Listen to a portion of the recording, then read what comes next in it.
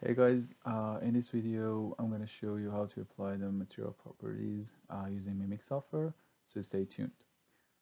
This is the model that we uh, already imported from uh, 3-matic software uh, in the last video.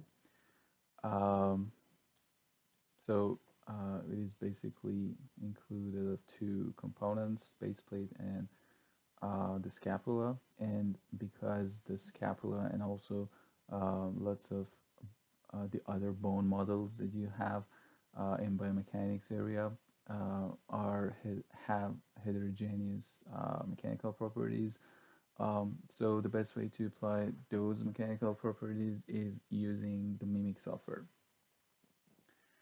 Um, so uh, what are, what you need to do is going to the finite element tab um, at this bar and then uh, choose assign um, material um,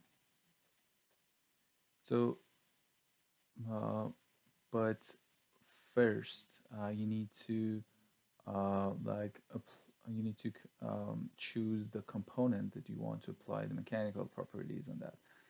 Uh, so uh, in my case is scapula which this is the one scap copy um, you need to uh, right click on the scap copy and uh, click materialize.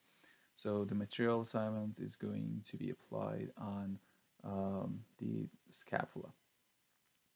So for applying the material properties, um, there are some material assignment methods um, which we are uh, going to use like the gray value based method, uh, which is the first one. So you need to choose that.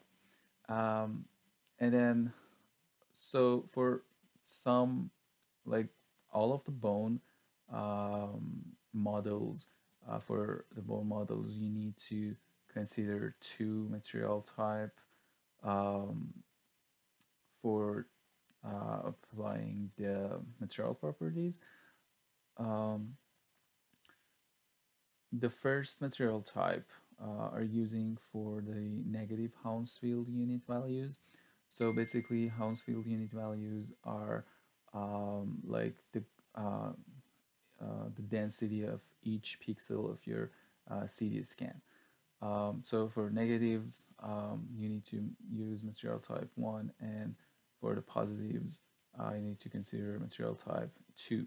Um, and also, um, if you want to have a, a really accurate uh, model, uh, you need to consider um, the um, two type of material of bone because each bone uh, is considered um, it, uh, is included of um, two uh, section like the cancellous bone uh, and also um, the soft parts of the bone.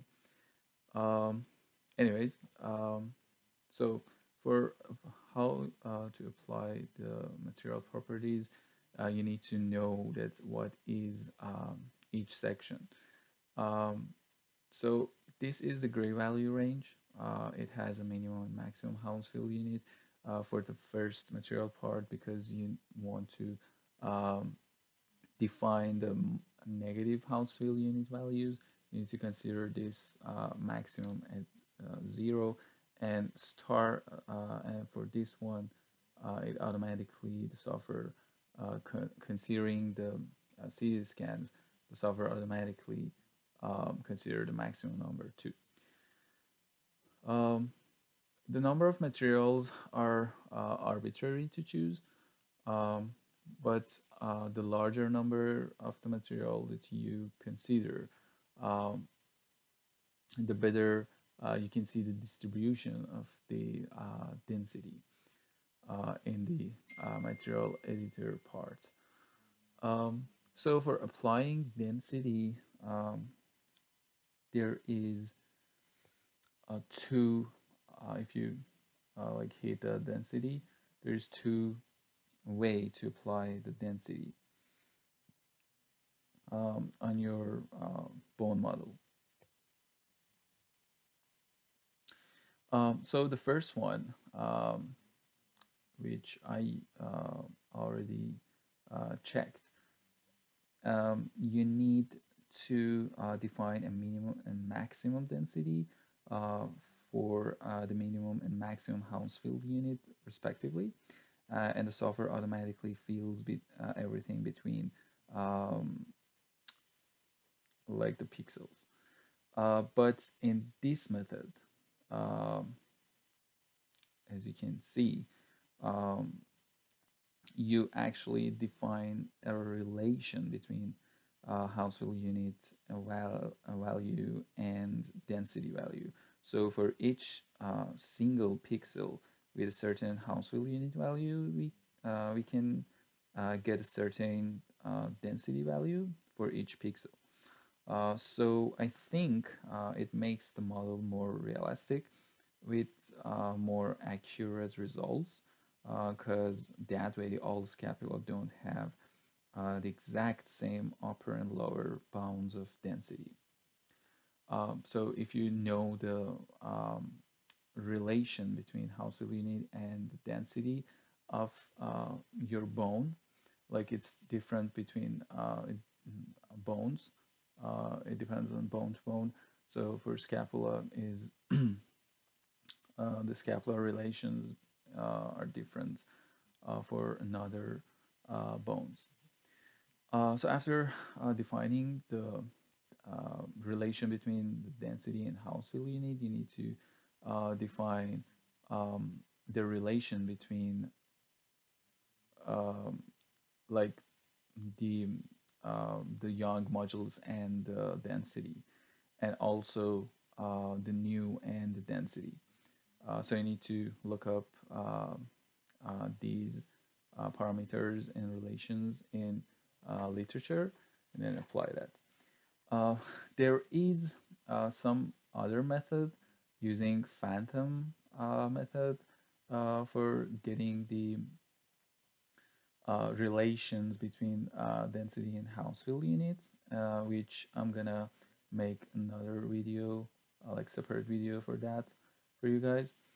Um, so yeah, basically this is how you're gonna uh, define uh, the material properties for the heterogeneous bone model. Uh, and in, in this part, uh, you can see the histogram. And if you, uh, you the best way is uh, choose both to see the elements and material together. Um, so after defining your um, the both material type, um, you can easily just hit apply and uh, after you hit apply after like 10 seconds or so um, the bone um, like um, the, the component that you already uh, applied the properties and define the properties for that um, is going to um, be like colored um, so you can see the different color as uh, different material pro properties uh, in your uh, bone model. Uh, and then you can easily close the window and like um, export your file. Um, so for exporting um, your file to a finite element analysis software, you need to go uh, to the file tab and export and if you want to export import your um, uh, model to Abaqus, you need to um, hit Abaqus and uh, this window uh, will pop up. Um, in this uh, section, you need to consider mesh because you want to export mesh and import the mesh um, to the Abaqus and um, yeah, uh, like do the stress analysis um, to a Irfan mesh. Um, so in this section, these are your components. You need to um, consider uh, all of your components and then click uh, add here. So these are the components that you want to export. Um, this is a directory that your um, mimics file um, is already exist.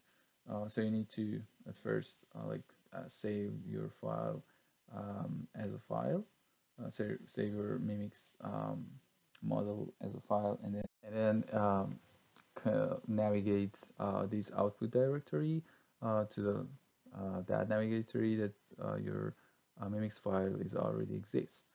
and the output format is INP file, like Abaqus file. And the trick here is if you want to um, export INP file, you need to check both the single output file and create assembly. So that way, um, the software produce just one uh, INP file and you can easily import that INP file uh, as a model uh, into your Abaqus um, software or finite element software uh, and then uh, easily hit uh, OK. So this is, um, suffice to say, this is um, the way that you want to apply the material properties on your model. Um, and then export the file from Mimics to Abaqus or another uh, finite element software. Hope uh, this video will help you guys.